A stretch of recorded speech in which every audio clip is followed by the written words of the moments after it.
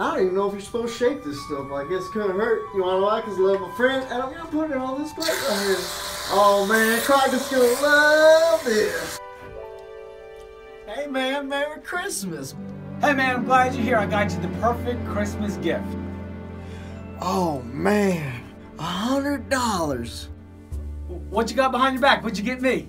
Oh man, you know, like this is such a generous gift. Like I'm embarrassed to even give you my gift. It's not even near this much. Come on, man. Just let me see what you got me.